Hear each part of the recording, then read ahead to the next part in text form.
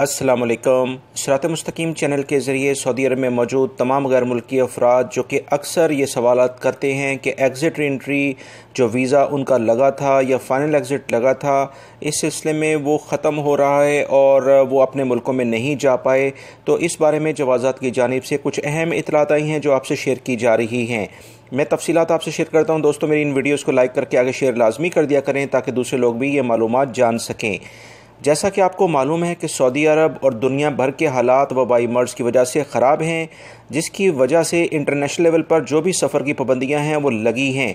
इस सिस्टम में आप लोगों को याद होगा कि पिछले दिनों खुदकार सिस्टम के ज़रिए, यानी ऑटोमेटिकली तीन माह की जो अकामों में तोसी कर दी गई है, यानी उनकी मुद्दत बढ़ा दी गई है।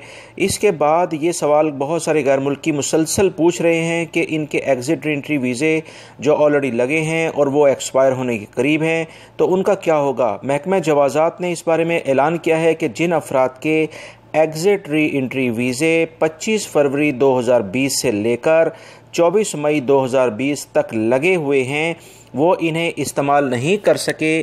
इनके वीज़ों की मुद्दत में ख़ुदकार यानी ऑटोमेटिक तरीके से बग़ैर अजाफ़ी फ़ीस के तीन माह का इजाफ़ा कर दिया जाएगा।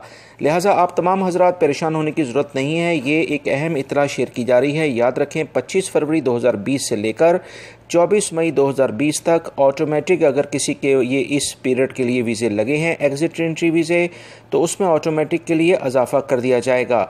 ईद वो तमाम लोग जो कि 25 फरवरी 2020 से लेकर 24 मई 2020 की मुद्दत में उनके वीज़े नहीं आते और उसके अलावा उनके वीज़ों की टाइमिंग है। तो लाजमी तौर पर वजारत दाखिला का जो अबशर अकाउंट के ज़रिए जो मैंने ऑलरेडी आपसे मुकम्मल तफसीत शेयर की हैं कि एक नया जो उदा के नाम से एक इन्फॉर्मेशन आई है रिटर्न के नाम से, जिसकी डिटेल ऑलरेडी इस वीडियो के आखिर में भी उस वीडियो का लिंक आएगा। आप उस पर क्लिक कर सकते हैं, वो तमाम मालूम जान सकते हैं। उसमें अपनी तारीख डेट ऑफ़ बर्थ अकामा नंबर जिस डेट में आपने जाना है, वो मुकम्मल तफसीत मोबाइल नंबर के साथ दें। जिस शहर से आपने सफ़र करना है और किस मुल्क में जाना है तो तमाम की तमाम तफसीत आपको मिल सकेंगी और इस तरह से आप अपने मुल्कों में जा सकते हैं।